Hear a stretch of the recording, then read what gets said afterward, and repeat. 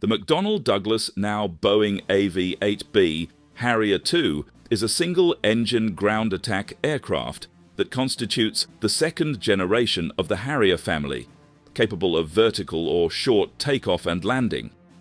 The aircraft is primarily employed on light attack or multi role missions, ranging from close air support of ground troops to armed reconnaissance. So, how did the United States even manage to build such a beast? And what are the general specifications of this advanced aircraft? Here, in this video, we are going to show you how to build the most modern advanced strike fighter aircraft, AV-8B Harrier II. The AV-8B Harrier II is a subsonic attack aircraft of metal and composite construction that retains the basic layout of the Hawker Siddeley Harrier, with horizontal stabilizers and shoulder-mounted wings featuring prominent anhedral, which means downward slope. The aircraft is powered by a single Rolls-Royce Pegasus turbofan engine, which has two intakes and four synchronized vectorable nozzles close to its turbine. Two of these nozzles are located near the forward, cold end of the engine, and two are near the rear, hot end of the engine. This arrangement contrasts with most fixed-wing aircraft, which have engine nozzles only at the rear. The Harrier II also has smaller valve-controlled nozzles in the nose, tail and wingtips to provide control at low air speeds. The AV-8B is equipped with one centerline fuselage and six wing hardpoints compared to four wing hardpoints on the original Harrier, along with two fuselage stations for a 25mm GAU-12 cannon and ammunition pack. These hardpoints give it the ability to carry a total of 9,200 pound, that is 4,200 kilogram of weapons, including air-to-air, air-to-surface and anti-ship missiles, as well as unguided and guided bombs. The aircraft's internal fuel capacity is 7,500 pounds, that is 3,400 kilograms, up 50% compared to its predecessor. Fuel capacity can be carried in hardpoint compatible external drop tanks, which give the aircraft a maximum ferry range of 3,300 kilometers and a combat radius of 556 kilometers. The AV-8B can also receive additional fuel via aerial refueling using the probe-and-drogue system. The British Aerospace Harrier II, a variant tailored to the RAF, uses different avionics and has one additional missile pylon on each wing. The Harrier II retains the tandem landing gear layout of the first generation Harriers, although each outrigger landing gear leg was moved from the wingtip to midspan for a tighter turning radius when taxiing. The engine intakes are larger than those of the first generation Harrier and have a revised inlet. On the underside of the fuselage, McDonnell Douglas added lift improvement devices which capture the reflected engine exhaust when close to the ground, giving the equivalent of up to 1,200 pound, that is around 544 kilograms of extra lift. The technological advances incorporated into the Harrier II, compared with the original Harrier, significantly reduce the workload on the pilot. The supercritical wing, hands-on throttle and stick, known as HOTAS control principle, and increased engineered lateral stability make the aircraft fundamentally easier to fly. A large cathode ray tube multi-purpose display taken from the F/A-18, makes up much of the instrument panel in the cockpit. It has a wide range of functions, including radar warning information and weapon delivery checklist. The pilots sit on UPC Stencel 10B00 ejection seats, meaning that they are able to eject from a stationary aircraft at zero altitude. For the AV-8B, McDonnell Douglas redesigned the entire airframe of the Harrier incorporating numerous structural and aerodynamic changes. To improve visibility and better accommodate the crew and avionics hardware, McDonnell Douglas elevated the cockpit by 10.5 inches, that is 27 centimeters, and redesigned the canopy. This improved the forward 17 degrees down, side 60 degrees, and rear visibility. The front fuselage is composed of a molded skin with an epoxy based core sandwiched between two carbon fiber sheets.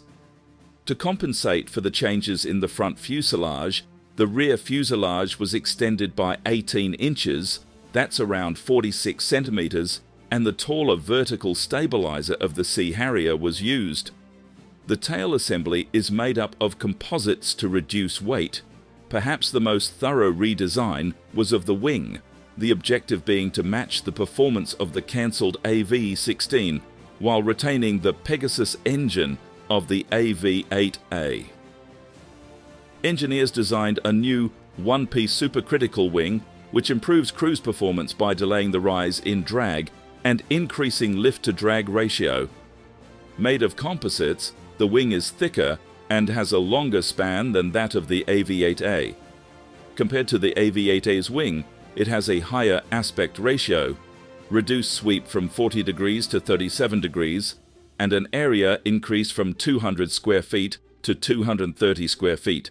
The wing has a high lift configuration, employing flaps that deploy automatically when maneuvering and drooped ailerons. Using the leading edge root extensions, the wing allows for a 6,700 pound, that is 3,035 kilogram increase in payload compared with the first generation Harriers after a 1,000 feet takeoff roll. Because the wing is almost exclusively composite, it is 150 kilograms lighter than the AV-8A's smaller wing. The Harrier II was the first combat aircraft to extensively employ carbon fiber composite materials, exploiting their lightweight and high strength. They are used in the wings, rudder, flaps, nose, forward fuselage, and tail. 26% of the aircraft's structure is made of composites, reducing its weight by 217 kilograms compared to a conventional metal structure.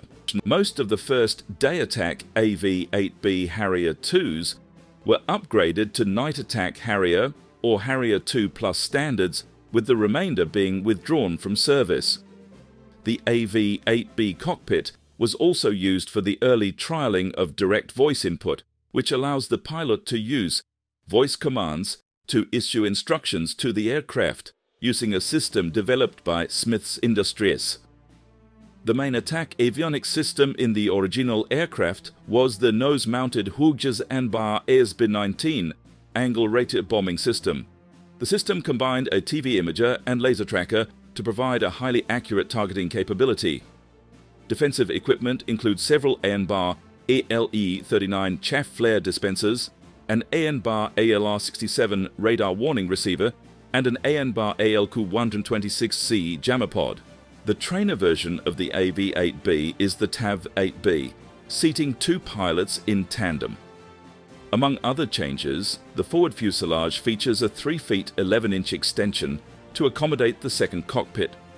To compensate for the slight loss of directional stability, the vertical stabilizer's area was enlarged through increases in chord that's the length of the stabilizer's root and height. US EMS TAV-8Bs feature the AV-8B's digital cockpit and new systems, but have only two hardpoints and are not combat capable. Fielded in 1991, the Night Attack Harrier was the first upgrade of the AV-8B. It differed from the original aircraft in having a forward-looking infrared camera called FLIR added to the top of the nose cone a wider Smiths Industries head-up display known as HUD, provisions for night vision goggles, and a Honeywell digital moving map system. The FLIR uses thermal imaging to identify objects by their heat signatures. The variant was powered by the F402 RR 408 engine, which featured an electronic control system and was more powerful and reliable. The flare and chaff dispensers were moved and the ram air intake was lengthened at the fin's base. Initially known as the AV-8D, the night attack variant was designated the AV-8B. The Harrier II Plus is very similar to the night attack variant, with the addition of an APG-65 multi-mode pulse Doppler radar in an extended nose, allowing it to launch advanced beyond visual range missiles such as the AIM 120 AMRAAM. To make additional space for the radar, the angle rate bombing system was removed. The radars used were taken from early F-bar A-18 aircraft, which had been upgraded with the related APG-73. According to aviation author Lon Nordeen, the changes had a slight increase in drag and a bit of additional weight, but there really was not much difference in performance between the Night Attack and Radar Harrier II plus aircraft. The AV-8B looks a lot like the original Harrier and it uses the same operating fundamentals. It just uses them a lot better. And that wraps up today's content. If you enjoyed this video, make sure to give it a thumbs up and also make sure to subscribe and turn on all notifications so that you won't miss out on our future contents.